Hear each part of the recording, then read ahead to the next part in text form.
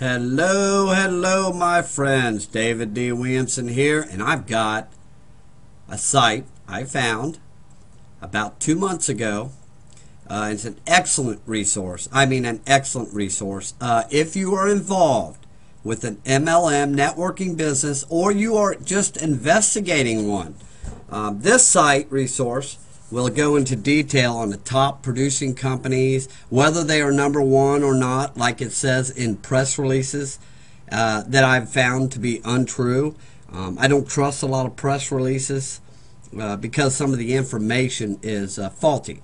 So I had to find my own resource for investigating network business, MLM companies, what's growing, what isn't. And, and matters of fact, I even use this for pay-per-click marketing and doing articles um, because you can see what people are searching for, uh, what the rankings are. Um, let's just pop over there and I'll show it to you. It's called www.mlmrankings, R-A-N-K-I-N-G-S dot. And we're off and running. Here we are on a home page. Uh, we can we have a menu across here as with other pages. Um, we go to the top companies, and it'll show you the top performers um, by popularity with the graphs. Um, if you come on down here, it'll show you the top gainers for this month, and it'll give you the percentage and the gains. It'll also give you the top producers in the last six months, which is really handy to have you can use this to find out, um, give you a better idea of who you want to join, what type of business you want to get in, and if you're already a, a, in an existing business, this is going to help you with doing keywords too.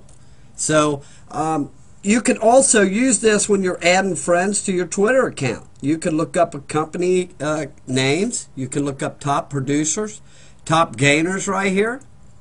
Take a look at this, uh, which is on down the page where we were just before. But uh, my point is this is a great avenue and resource to use when you are investigating or already involved in a network marketing business. Now, not only that, keep this in mind. I use it for keywords for articles. I use it for pay-per-click marketing.